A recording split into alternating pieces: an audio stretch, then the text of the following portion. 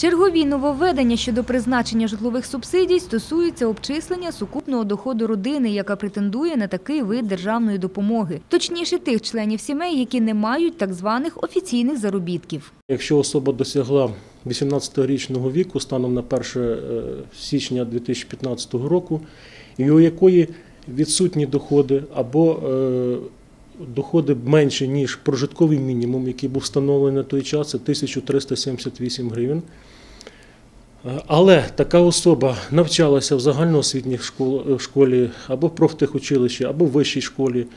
От, е, дохід такої, таких осіб буде автоматично доведений до, до прожиткового мінімуму, тобто до 1378 гривень. На рівні фактичних враховуватимуться доходи краян, в яких також відсутні заробітки, але вони протягом 2015 року отримували будь-який вид державної допомоги, приміром, допомогу сім'ям з дітьми по безробіттю чи як малозабезпечена родина. А от для працездатних краян, які ніде не працювали і не навчалися, не проходили строкову службу і не користувалися державною допомогою, для призначення субсидії зараховуватиметься подвійний прожитковий мінімум 2756 гривень. Нововведення стосуються і працюючих пенсіонерів. Якщо в 2015 році особа працювала і отримала пенсію, а на сьогоднішній день, станом на е, 1 вересня, е, або станом на перше число місяця, в якому вона звертається за наданням субсидії, вона не працює, то за її заявою ми можемо врахувати в дохід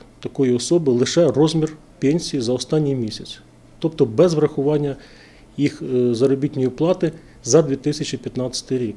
Тим, хто звертається за субсидією вперше, потрібно лише заповнити відповідну заяву і декларацію про доходи. А родинам, які вже отримували субсидії на оплату житлово-комунальних послуг, доведеться запастися терпінням і дочекатися автоматичного перерахунку. До речі, нині в органах соцзахисту завершують такий перерахунок за серпень і вже розпочали обчислення за вересень місяць. Спеціалістам важко, а ще важче пересічним краянам. Я не можу взагалі поняти тої субсидії.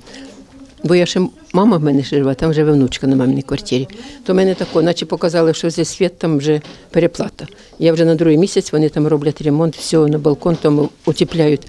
площу так, як треба. І знов переплата. Як це поняти? Субсидія це, це щось не те, що треба. Хоч для людей воно вигідно. Ну, а я, наприклад, легко оформили ми, ми субсидію, але на літо в нас не було субсидії. Ну, Прийшла ну, узнати, тому що ми не, пла- не, не проживали і не платили. А вже от зараз е, спитаюся просто, каже, що автоматично, то дуже легко для мене. Для Дуже других легко. може. Но систему пошуку треба міняти. У мене двоє інвалідів в хаті, я повинна кидати. Я прийшла, оформила, а не дали. Того не дали. А я скільки потирала часу, скільки виїздила. Щоб давали достойні пенсії, зарплати, ніхто не, не ходить, не уніжається, не принижується. Получив, пішов, заплатив. Скільки, е, скільки нарахувало тобі по лічильнику, заплатив і, і без ніяких цих от. Стара людина йде, декларації, ще щось писати, я не знаю. Із початком нового опалювального сезону у відділах соцзахисту очікують і нову хвилю масових звернень краян. За приблизними підрахунками, тоді статус субсидіантів на Хмельниччині отримає більше половини населення. Додатково на сьогоднішній день в зв'язку з, е, ну скажімо так, тою ціною на газ і тими тарифами, які встановлені на е, централізоване е, опалення, ми очікуємо додаткову кількість звернень по області на рівні 70-80 тисяч домогосподарств. Надіємося, що протягом жовтня-листопада ми зможемо працювати звернення, нові звернення, які будуть надходити за наданням субсидій. А крім того, зробимо перерахунок в зв'язку з е, початком опалювального періоду.